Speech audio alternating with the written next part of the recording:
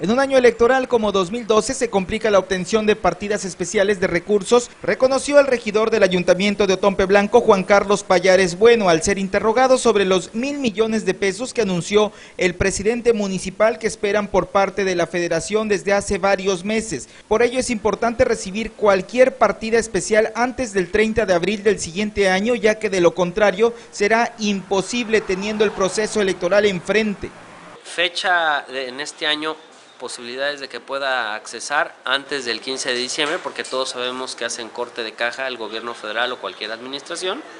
Si no se entregara en estas fechas, nos iríamos hasta el 15 de enero y del 15 de enero tenemos un espacio hasta antes del 30 de abril, que es cuando comienzan las campañas electorales a nivel federal y que obviamente pues el gobierno federal no, no va, va a procurar de que en este segundo periodo se entregue todo el dinero para que no haya una situación rara en términos electorales. Incluso comparó los buenos deseos del presidente municipal con cartas de Navidad en las que se piden y otorgan buenos deseos, pero de eso a que se cumplan, en este caso dependerá de la federación.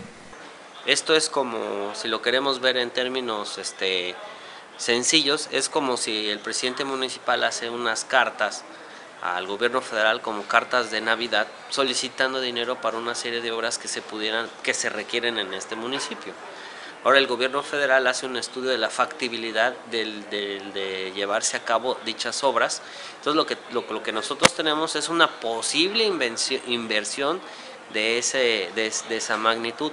De, de, ahí a que el gobierno federal considere o le dé respuesta, pues sabremos realmente cuánto va a ser el monto de lo, de lo que se va a poder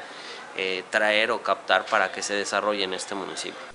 Recientemente crearon la Comisión de Obras Públicas, Comisión de Compras y Adquisiciones y Comisión de Modernización Tecnológica para vigilar los recursos cuya cantidad y fecha de entrega aún no se define, requisito que no se había cumplido y que retrasó en parte la liberación de recursos federales que tanto se ha anunciado.